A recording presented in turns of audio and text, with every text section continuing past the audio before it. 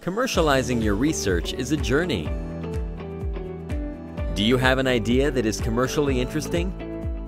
Then get in touch with the Kuwait University Patent Office, part of the research sector. They will help to guide you through the research commercialization process.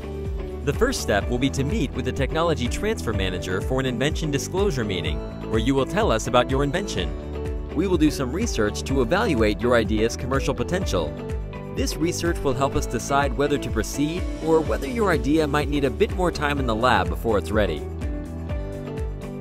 Protecting your invention is important. You can protect your invention with different types of intellectual property. These can include copyright, know-how, design rights, and patents, for example.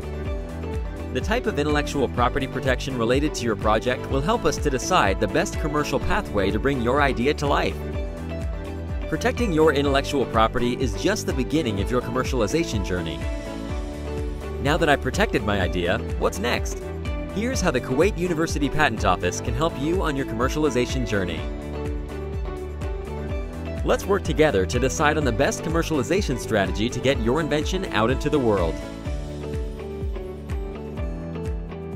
The Patent Office will help you to create a technology profile for your invention to showcase how it could be developed for commercial applications.